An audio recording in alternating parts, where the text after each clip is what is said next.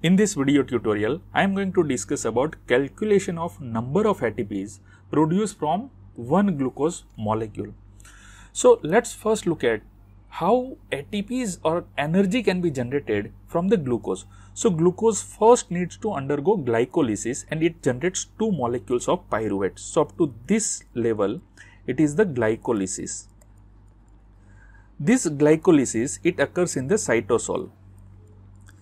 Once pyruvates are generated, this pyruvate undergo oxidative decarboxylation to generate acetyl coenzyme A. And this oxidative decarboxylation is the link reaction as it is linking between this glycolysis and this TCA cycle.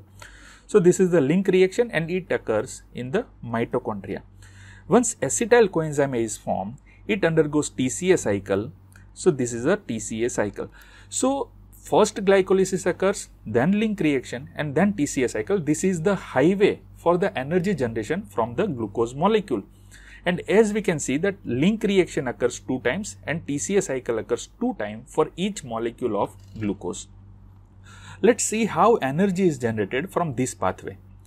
So first when glucose undergo glycolysis, in the first phase that is the energy investment phase, during that phase 2 ATPs are utilized. So I am writing over here minus 2 ATPs. Now once splitting occurs, splitting of this glucose occurs in the two part, each of this splitting part it will give two substrate level phosphorylation. So, two ATPs are generated and one molecule of NADH is also generated. The same thing occurs with this half also. Here also two ATPs are produced and one NADH molecule is also generated. Now this during this linking reaction pyruvate gets converted to acetyl coenzyme A and during this reaction one NADH molecule is generated. Here also one molecule of NADH is generated.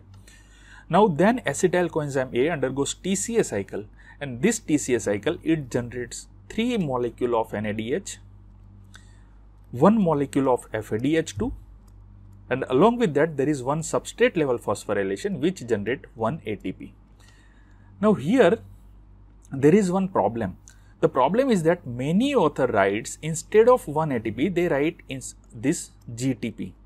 Now, according to me, writing of 1 ATP is better than this 1 GTP. The reason is that that G ATP is generated in all the tissue, whereas GTP it is generated only in the liver and kidney okay? And that too in the liver and kidney also gtp is not generated all the time. Gtp is generated whenever there is a requirement of gluconeogenesis in the liver and kidney. At that time only gtp is generated.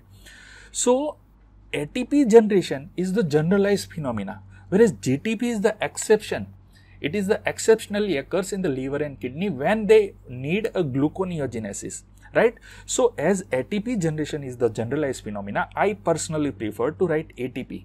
Whereas this is the exception, we should not write when we are generally explaining TCA cycle, right? So this thing you have to keep in mind because in many book it is written directly as a GTP is generated. And one more thing, this GTP can be easily converted to ATP also. So that's why I prefer to write ATP. Okay, the same thing occurs on this TCA cycle also that we get 3 NADH molecule, 1 FADH2 molecule and 1 ATP molecule.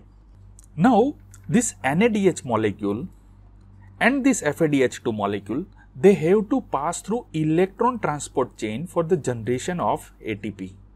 So, this has to also pass through the electron transport chain right.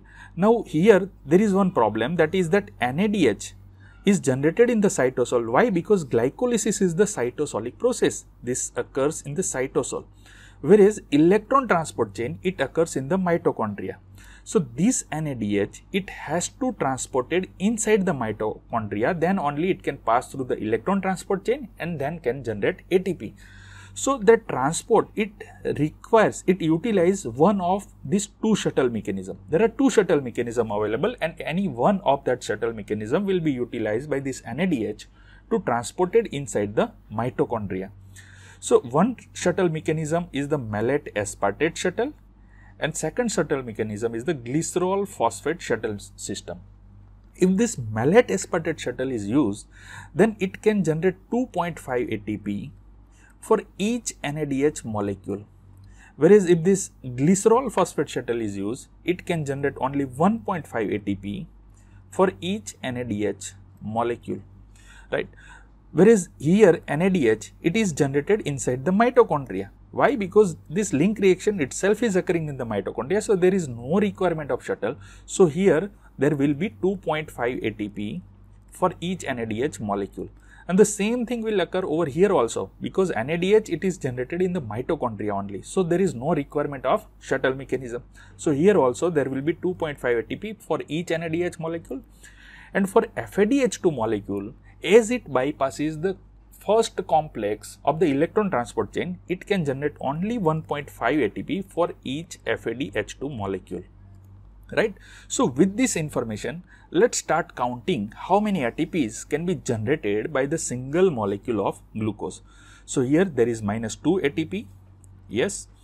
Then here we can see that 2 ATPs are generated 2 times. So, we have 2 into 2 that makes total 4 ATP. Here we have one NADH, so which is uh, generated 2 times. So, we have a 2 NADH molecule and for each NADH molecule we are generating either 2.5 or 1.5. So here we have two possibility either 2 into 2.5 ATPs are generated that makes total 5 ATP or second possibility is 2 into 1.5 ATP that give us total 3 ATPs right. So this completes glycolysis pathway and as we can see in the glycolysis 5 plus 4 that makes 9 minus 2. So either 7 ATPs are generated or 4 plus 3 that makes 7 minus 2 that makes total 5 ATP. Two possibilities are there. Now let us talk about this link reaction. Here two NADH molecules are generated and for each NADH molecule we can get 2.5 ATP. So 2.5. Here there is no chance of 1.5 ATP because shuttle mechanism is not required over here. So we can get 5 ATPs over here. This is about the link reaction. And then let's discuss about TCA cycle. Here three NADH2 molecules are generated and that is occurring two times. So we have total six NADH molecule and for each NADH molecule we are getting 2.5 ATP. So that makes total 15 ATPs.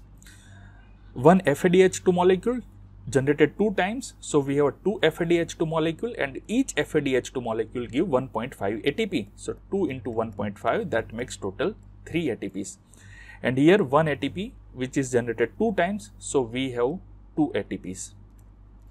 So, if we do a totaling of these 15 plus 3 that makes 18 plus 2 that makes total 20 ATPs.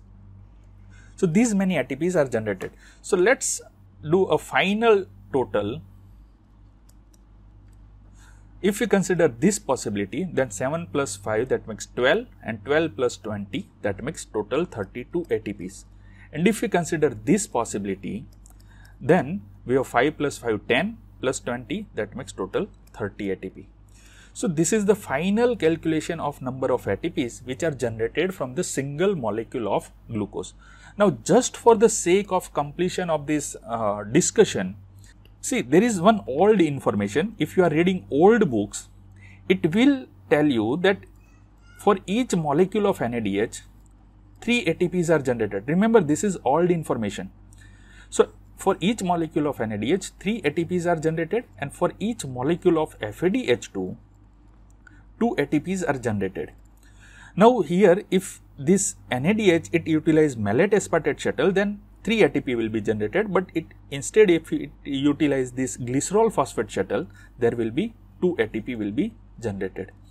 So, as per this the information, if we try to calculate this number of ATPs generated for each molecule of glucose, we can have a new calculations that instead of 2.5, 3, 2.5, we can consider 3. So, 3 into 2 that makes total 6 and 6 plus 4 minus 2 that makes 8 ATPs. So, here either 8 ATP can be generated or instead of 1.5, if we consider 2, then we can get 4 ATP. So, here we can get 6 ATP that is 4 plus 4 8 minus 2 6 ATP can be there. Here if we consider instead of 2.53 this is all the information. So, we can get 6 ATPs. Here if we consider 3 ATPs then 6 into 3 that makes total 18 ATP.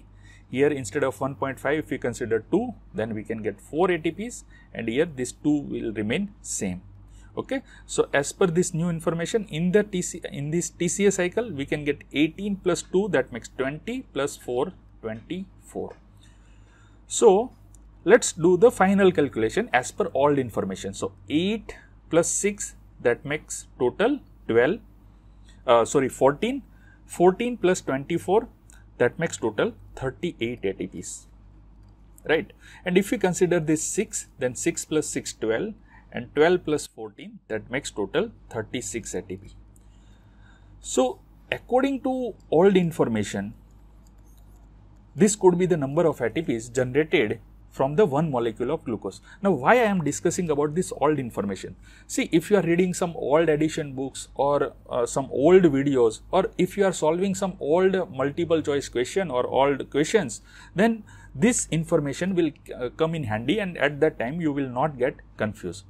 So that's all about this video. If you have any query or confusion, please write it down in the comment section below. Thank you.